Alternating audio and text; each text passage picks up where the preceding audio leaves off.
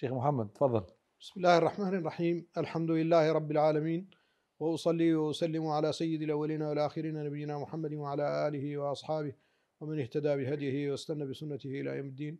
خلق الله هذا الجنس البشرية لحكمتين عظيمتين. الحكمة الأولى مشتركة بين الإنس والجن وهي العبادة وما خلقت الجن والإنس إلا ليعبدون. والثانية مختصة بالإنس وهي الاستخلاف في الأرض وأساس ذلك ودعامته الأسرة. وهذه الأسرة آه، أساسها عقد بين طرفين ومنه تتشعب آه، أفراد الأسرة.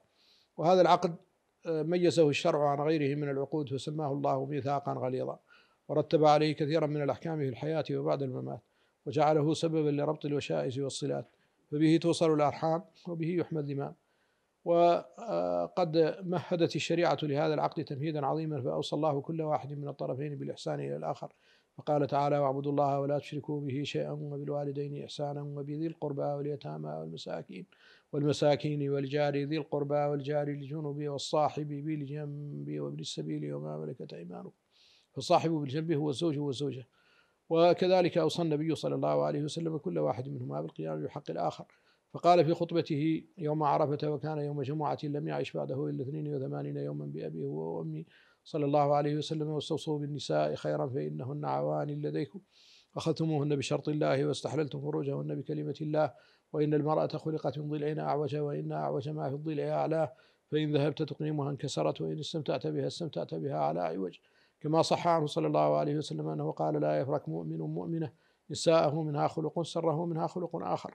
والفرك بغضة الأزواج وسببه تنافر المزاج والنبي صلى الله عليه وسلم بين أنه ممنوع لأنه لا يمكن أن يجد الإنسان من يلائم طبعه في كل شيء في هذه الحياة فمن أراد أن لا يجد شيئا ينافر طبعه وأن لا يسمع شيئا يكرهه ولا يرى شيئا يكرهه عليه أن يتعجل لدار القرار ففيها ما تشتهيه الأنفس وتلذ الأعين وأنتم فيها خالدون.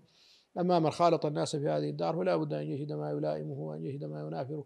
وتسليته عما ينافر طبعه أن الطرف الآخر سيصبر منه هو على مثلها. ومن ذا الذي ترضى سجاياه كلها كفى المرأة نبلا أن تعد معايبه.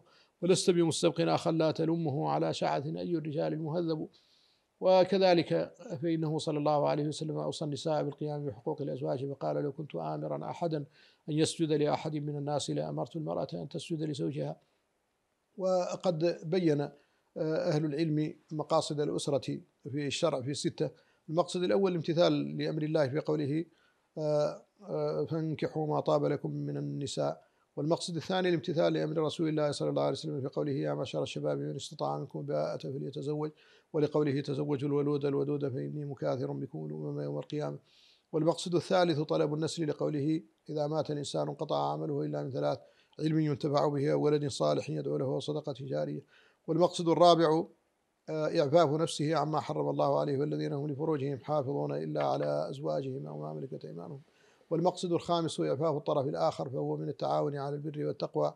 والمقصد السادس, السادس بناء الأسرة على منهج الله ورسوله صلى الله عليه وسلم. والله بين أن الحقوق والواجبات مشتركة فقال ولهن مثل الذي عليهن بالمعروف وللرجال عليهن درجة. ولذلك بين النبي صلى الله عليه وسلم معايير الاختيار التي يختار كل طرف الطرف الآخر على أساسها. فقال في الرجل إذا أتاكم من ترضون دينه وخلقه فأنكحوه وإلا تفعلوه تكون فتنة في الأرض وفساد كبير. وقال في المرأة تنكح المرأة لأربع لمالها ولجمالها ولحسبها ولدينها فاظفر بذات الدين تربت يداك. والموضوع طويل بارك الله فيك يا شيخ محمد.